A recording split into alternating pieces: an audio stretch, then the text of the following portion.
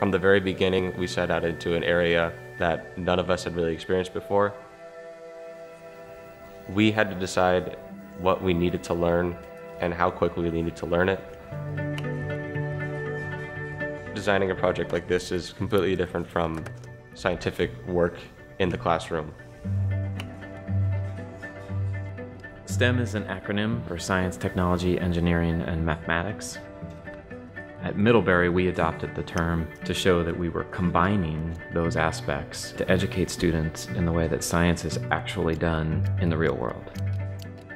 What I think is really unique about STEM is that it's almost entirely self driven.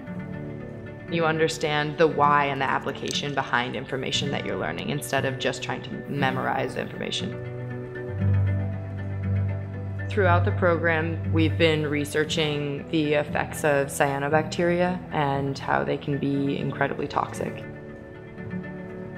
We decided that we wanted to develop a water-going vessel that was able to test the water in situ and measure the concentration of cyanobacteria present. It needs to be water resistant. It's on the top, so.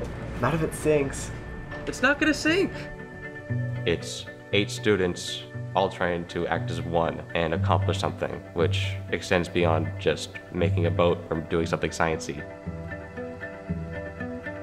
A large part of the project is learning how to incorporate everybody's end goal ideas into one cohesive idea. I have a much better sense of how broad a spectrum of views can be had on the same thing. The ideas in the beginning are really our own, the final product is ours, and also the successes and failures along the way. And so there's a greater sense of ownership and also a greater sense of practicality. So it's not just a research paper, it's an actual product.